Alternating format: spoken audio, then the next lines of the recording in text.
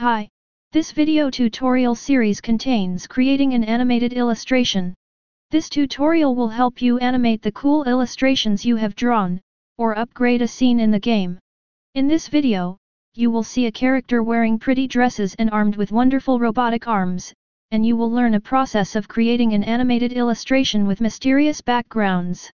This tutorial was created in previous versions of AnyPortrait, so some UI may be slightly different. First, draw an illustration. The image must be separated by several layers so that you can animate it.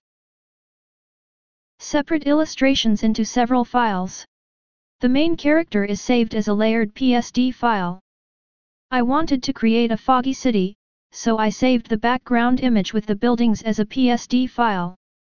The sky is also getting ready for the background. Let's add effects that make the illustration even more wonderful. I've saved an image layer that highlights the lights of buildings. I'm going to add a particle effect here too.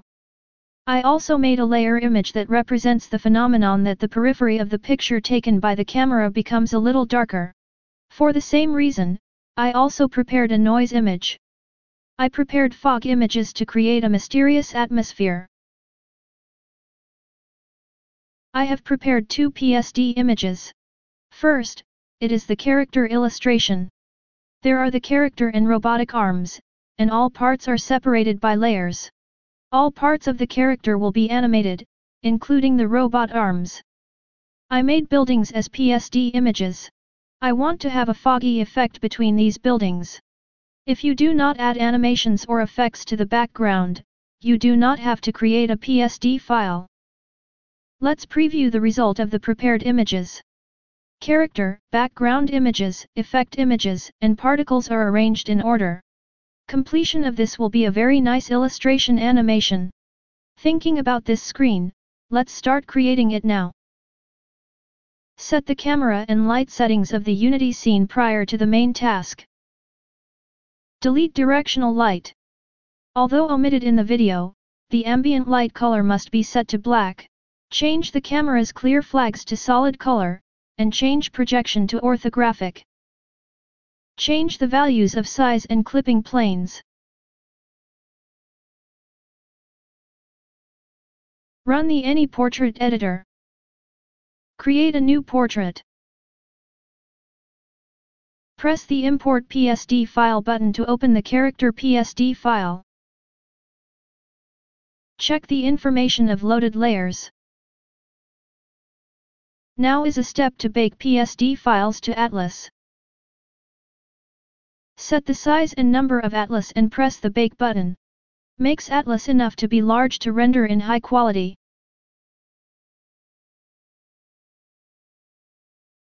Press the Complete button to create the character. As meshes were created, the character is created from the PSD file. In this video, the purpose is to reproduce the illustration in the scene, so execute bake and place the character in the scene. Let's load the original illustration to the scene in order to locate the character as similar as possible to the source. Create a new quad. Create a new material, and apply the original illustration.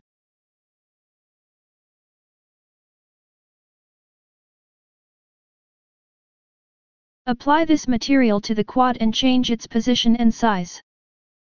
Adjust the size of the illustration to fit the screen.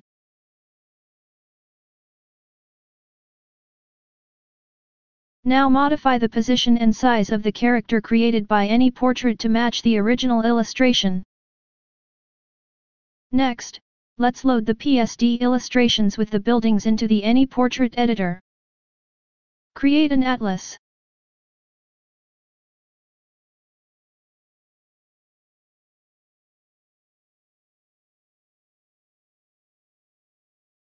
Execute the bake to place the image of the buildings to the scene. Go back to Unity Editor and modify the scale and position of the buildings as if you were adjusting the transform of the character.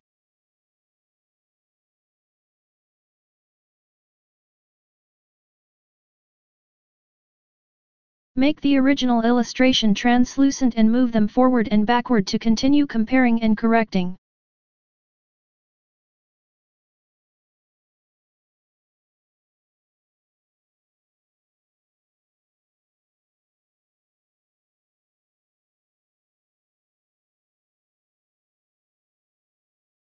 The character and buildings are located very similarly to the original illustrations. I selected the buildings and modified the Z per depth setting. By default, the Z value for the depth of the layers is set to be quite small. I increased the Z value because I would add fog meshes between the buildings. The next task is to add meshes to organize the rest components of the illustration. Let's make a background using the sky image. Add a new quad. Modify the size of the quad and create a new material. Apply the sky image to the material. Move the sky mesh backward and modify the size to make it as a background. Change the settings of the texture assets before placing other images to render them in high quality.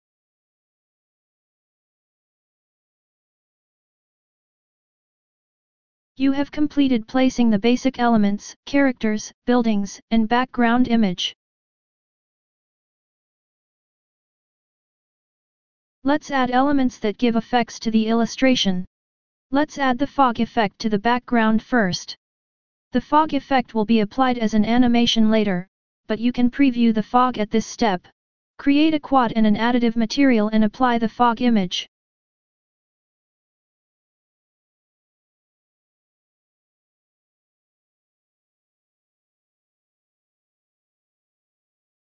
Place the fog mesh between buildings.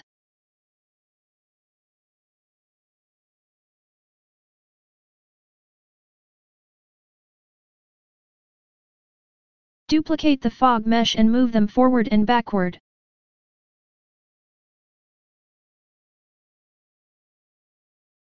To do, I have prepared several fog images.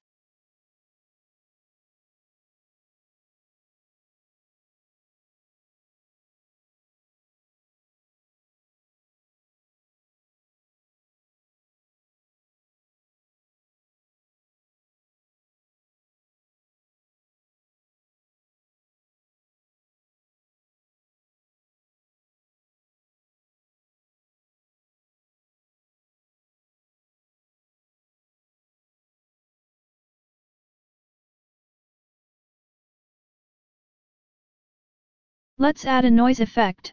Prepare a small noise texture, and create a new quad and material to create a noise effect.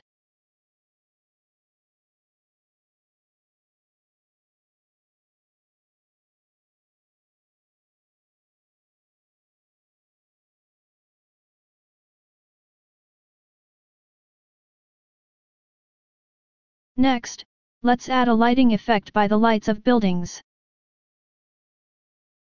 You can make the screen brighter by using an additive shader. Create a quad and material in the same way as before and apply the image to be used for the glow effect, and complete the light effect.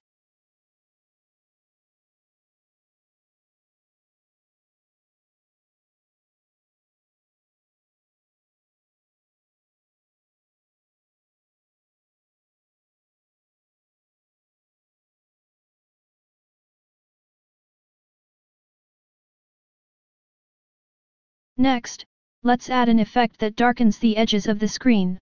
This is also known as the vignette effect.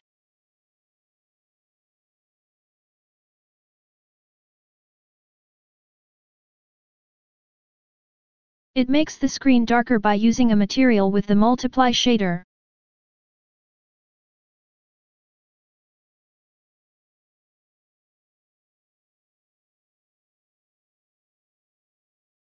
Making the edge of the screen darker seems to have quite a mood.